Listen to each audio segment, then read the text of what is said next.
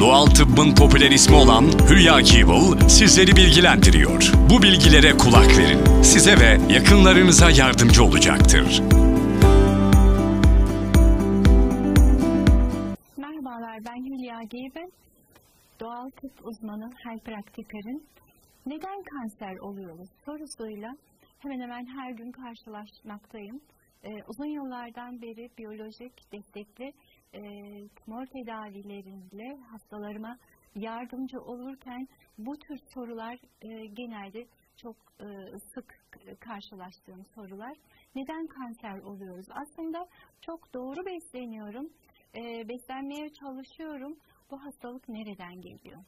E, aslında e, kansere yakalanmamız için e, immün sistemimizin, bağışıklık sistemimizin e, hafif dengesini kay, e, kaybetmesi yet, yetiyor.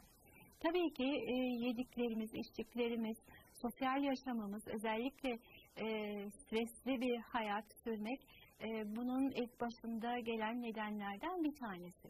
Fakat e, en önemli unsur olarak şimdiye kadar gördüğüm ve tedavilerimde e, kesinlikle olmaz dediğim e, besin e, şeker konusu. Gerçekten de şekerli e, yiyecekleri meyve şekeriyle beraber e, muhakkak kesmeniz gerekiyor e, tedavileri uygularken.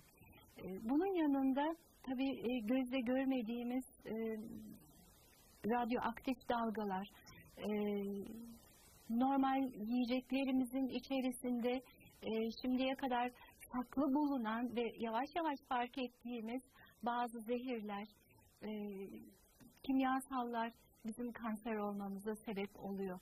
Bu yüzden gerçekten de gözümüz açık olmalı.